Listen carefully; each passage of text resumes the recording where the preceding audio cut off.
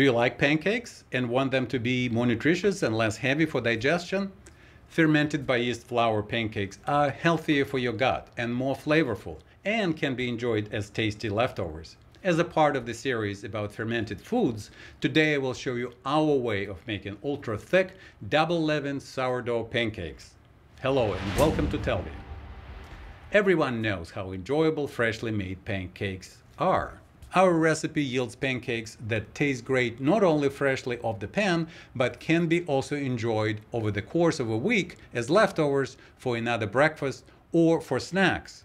In a separate just released video about our recent four-day camping trip, we refried our sourdough pancakes for a campsite breakfast and enjoyed them even more when freshly cooked at home.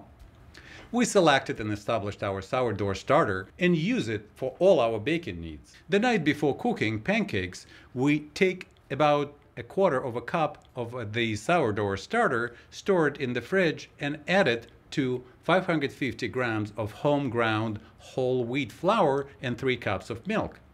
All ingredients get mixed are left to rise overnight in a bowl covered with a moist kitchen towel at room temperature. In summertime, we shorten the room temperature resting period to 4 to 6 hours and then transfer to a refrigerator to avoid exhausting the sourdough before we're ready to cook. In the morning, we mix well using a whisk 8 eggs, half a cup of sugar, 1 tablespoon of salt, half a cup of butter, 1 tablespoon of baking powder, half a tablespoon of vanilla, and a few drops of almond extract. By morning, the sourdough, flour, and milk mixture will have risen and will be porous inside. Seeing the bubbles and porosity inside the butter is a positive sign that the yeast did its job overnight and leavened the flour. Now we add the egg mixture to the leavened flour.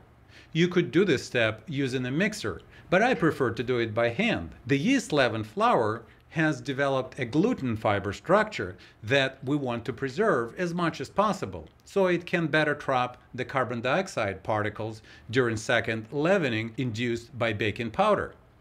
So gentle hand mixing is best. Add the egg mixture to the top of leavened flour butter and gently incorporate the liquid into the butter. Mix until all added liquid components are not visible on the surface. If you still feel some clumps in the butter, leave them alone. These clumps are critical for maintaining thickness of the pancakes. Let the mixture rest for about 10-15 minutes. This time we'll allow baking powder, our second leavening reagent, to react with the acidity produced by yeast, releasing carbon dioxide gas bubbles that will make the mixture even more porous. The consistency of pancakes mix at this point should be thick but still flowing and gel-like. Use a small ladle or a cup to dispense the pancake mixture onto the preheated non-stick frying pan or stove griddle like we use here. The batter will spread to about a 5 to 6 inch sometimes irregular circle and will stop as the bottom of the pancake starts solidifying. As you can see, the yeast leavened butter tends to stay together, and the scoop of butter sometimes doesn't even stick to the ladle. After about a minute on the griddle, you will start seeing small bubbles appearing on the surface of the pancakes. Using a plastic spatula, prop the edge of each pancake and see if its bottom is turning to a nice yellow-orange or slightly brown color, and flip the pancake in place onto its uncooked side. Repeat the process and collect the cooked pancakes in the preheated warming tray. We use a ceramic tray placed next to the griddle where it gets preheated by the adjacent stove burners. Once all pancakes are cooked, bring them to the table and enjoy them with your favorite condiments.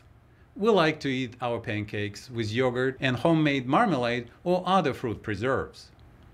If you have any leftovers, you can refrigerate them and enjoy them later. Simply put a leftover pancake to the toaster and it's ready to eat. The list of ingredients and their weight volume in our recipe yields about 12 pancakes and it is in the description of the video. I hope you enjoyed this video and are inspired to cook these ultra thick pancakes yourself. Let me know how it works for you in the comments. Please give this video a thumbs up and subscribe to see more videos about our cooking projects and recipes. Cheers!